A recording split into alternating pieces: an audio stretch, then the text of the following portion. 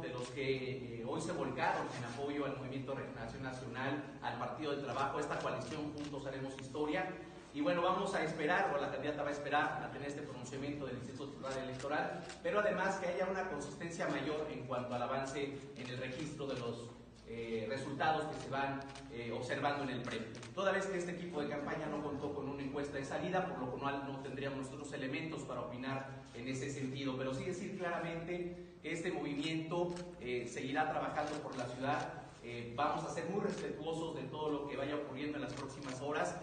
también Magali y es un mensaje que transmite Claudia Rivera, seremos muy responsables y seguiremos muy comprometidos con las causas que le dan esencia y sentido a este movimiento. Decirlo también claramente que a pesar de las complejidades con las que se ha desarrollado este proceso electoral, con la violencia reiterada de diversos actores que han participado durante esta contienda, este equipo se mantiene con la dignidad intacta y con esa dignidad vamos a afrontar lo que en las próximas horas será un posicionamiento formal de este equipo de campaña de Juntos Haremos Historia, porque estamos convencidos que vamos a seguir haciendo historia con la defensa de una agenda progresista como ha sido hasta la fecha, que es la agenda de los derechos humanos, de los derechos de las mayorías y de las minorías que tienen